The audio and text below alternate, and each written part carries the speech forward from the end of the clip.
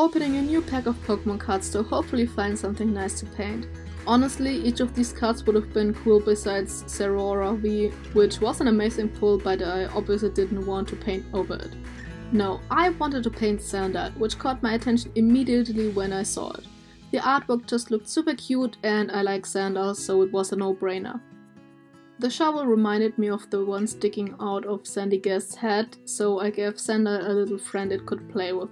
For some reason Sandygast took the shovel out of its head and is making a hole in the sandbox. I added the detail of its head collapsing a bit cause the shovel is missing.